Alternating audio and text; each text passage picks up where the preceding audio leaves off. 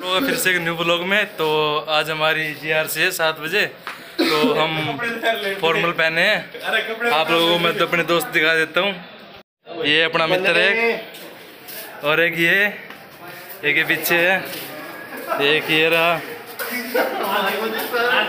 ने ने ने देख रहे भाई साहब, ये हमारे रूम वाले बंदे जितने भी हैं।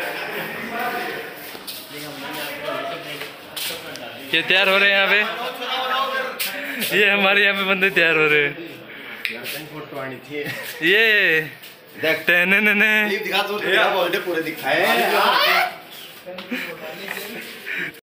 तो अभी के लिए आप लोगों को बस इतना ही दिखाना था कि हाँ भाई जीआरसी के लिए जो फॉर्मल ड्रेस है वो डालिए और बाद में दिखाते हैं आप लोगों को। तो वही हमारी जीआरसी हो चुकी थी। अभी हम आ गए थे रूम पे और यहाँ पे चल रही फ़िल्म। तो अभी इस वीडियो का अभी तो यहीं पे करते हैं फिनिश, मिलते हैं नेक्स्ट व्लॉग में।